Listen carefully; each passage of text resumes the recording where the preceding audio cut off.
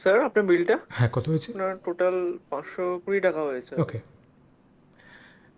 বলছি তুমি হাফ দাও আমি হাফ দিই। আচ্ছা ঠিক আছে। আমি আড়াইশো টাকা দেবো। হ্যাঁ হ্যাঁ দাও দাও। খুচরো হবে তো? হ্যাঁ আমার কাছে আছে কুড়ি টাকা নাও। ঠিক আছে। এ নিন দাদা। দেখুন তো। স্যার ঠিক আছে ঠিক আছে। ঠিক আছে থ্যাংক ইউ ওয়েলকাম স্যার হ্যাঁ দুজনেই দিয়েছি। শেয়ার করে। কি বললেন? একজনই দেবে? মানে সেটা ছেলে হোক বা মেয়ে, একজনই দেবে, কেন?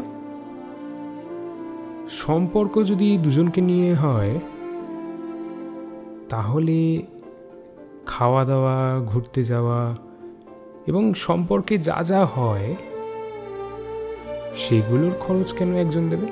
মানে একজনই কেন বহন করবে? লাক্সারি তো দুজনেরই হওয়া উচিত, সেই অনুযায়ী, তাই না? দুজনেই কষ্ট করে ইনকাম করে, দুজনেরই দেওয়া উচিত, তাই তো?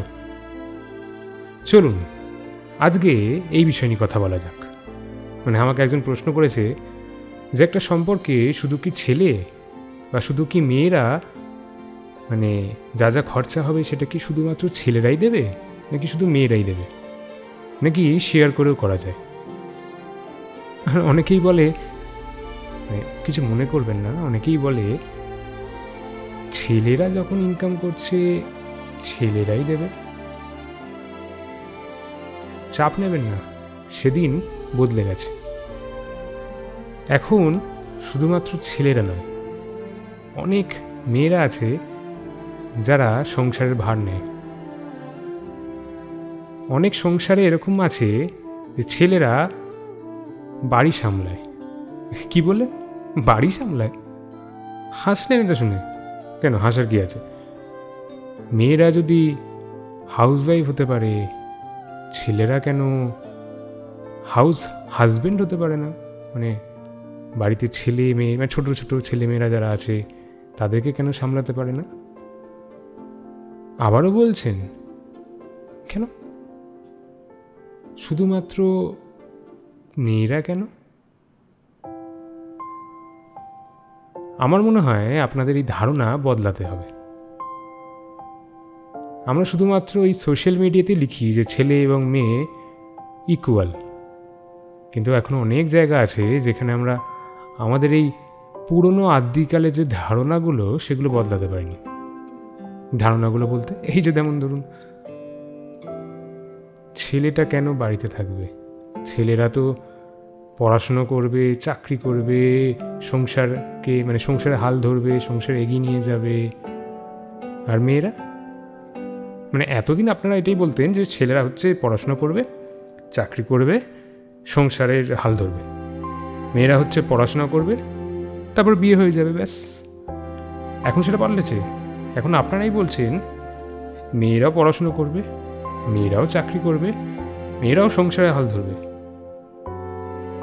তাহলে মেয়েরা যদি এই কাজগুলো করতে পারে, তাহলে ছেলেরা কেন মেয়েদের কাজগুলো করতে পারবে না? মানে ওই বাড়িতে থেকে সংসার সামলানোটা? সব পারে।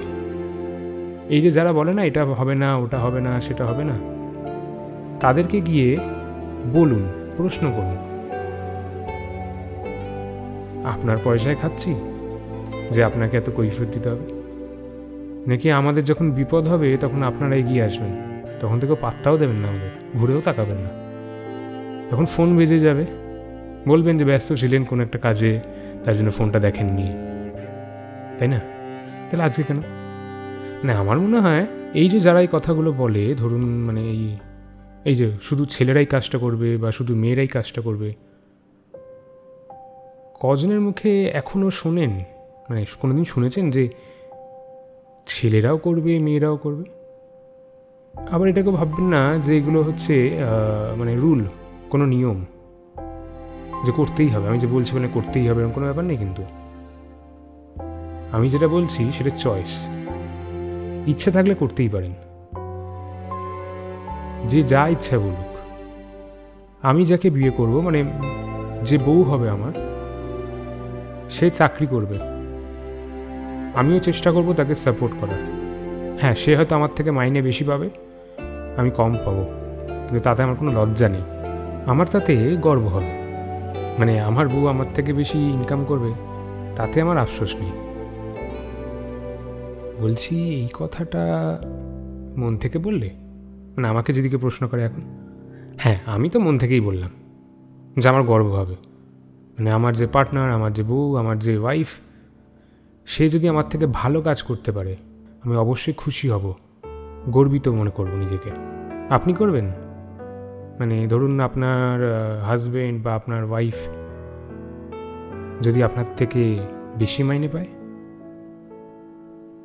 তখন কি এটা বলে বসবেন নাকি? যে তুমি তো আমার থেকে বেশি মাইনে পাও, তুমি তাহলে বেশি খরচ করো? আমার মনে হয় এই বলাটাও বন্ধ করতে হবে। যে তুমি তো বেশি মাইনে পাও বলে তোমাকে খরচা বেশি করতে হবে। এটা কোথাও নিয়ম নেই। একটা জিনিস ট্রাই করে দেখতে পারো তোমরা মানে যাদের এরকম ডিফারেন্স আছে স্যালারির দিক থেকে বা অন্য কিছুর দিক থেকে, এমন কিছু কেনার বা এমন কোথাও ঘুরতে যাওয়ার চেষ্টা করো, যেটা দুজনের পক্ষে মনে হবে যে অ্যাভারেজ একটা খরচ হচ্ছে।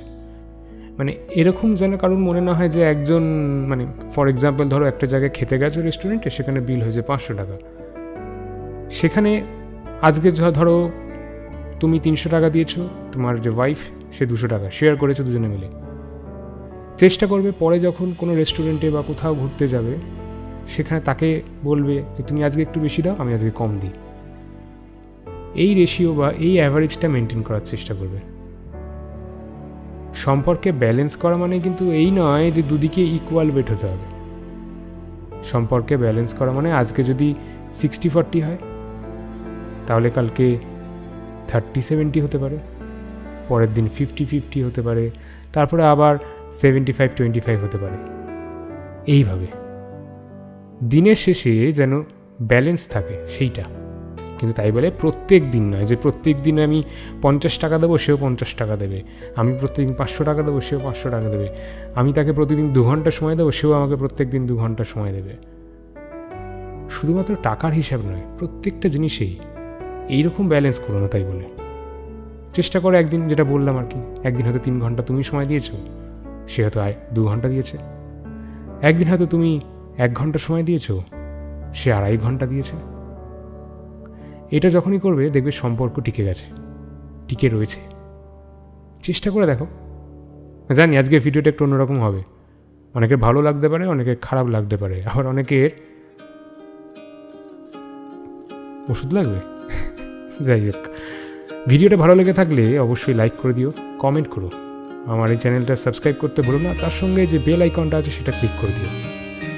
আগামী পর্বে আবার দেখা হবে নতুন একটা বিষয় নিয়ে। যে বিষয়গুলো তোমরা দেবে কমেন্ট করে জানাতে পারো। তোমাদের যদি এরকম কোনো প্রশ্ন থাকে। আজকের মতন এতটাই। টাটা!